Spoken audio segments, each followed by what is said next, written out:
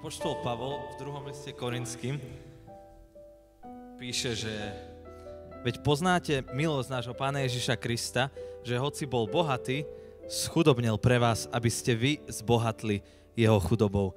Aj teraz budeme spiať o tom, že Pán Ježiš, Boh, sa vzdal všetkého kvôli nám, kvôli mne a tebe, aby, aby my sme mohli žiť radosný život, aby sme mohli mať väčnosť a chceme aj teraz tak vás pozvať, aby ste sa pridali do spevu, aby ste spievali s nami a aby ste uh, toto, toto tiež vyznávali.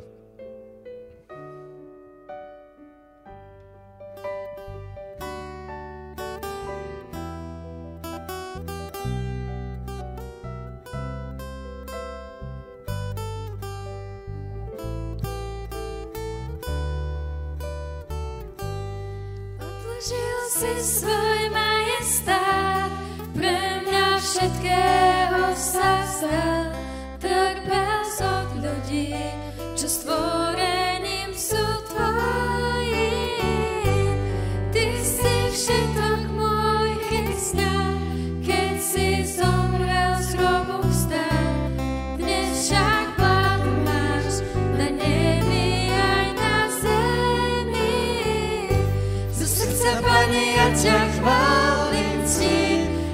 prosím na tebe len Katrín, chcem s tebou večne žiť.